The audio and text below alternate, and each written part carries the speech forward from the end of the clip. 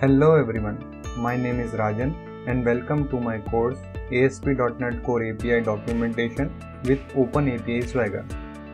I am a Microsoft developer and currently I am working on creating scalable and maintainable APIs for the team and external consumers.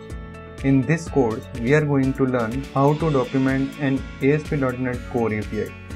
Some of the major topics that we will cover include learning what OpenAPI or Swagger is all about and how we can use them for documenting API using attributes or conventions to drive OpenAPI generation, dealing with authentication and versioning, and customizing API documentation UI. At the end of this course, you will have a superb knowledge on what OpenAPI or Swagger is and how we can use it to document an API.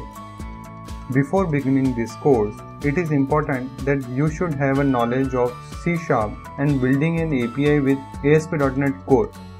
I hope you will like to join me on this course to learn how to document API with the ASP.NET Core API documentation with OpenAPI Swagger course.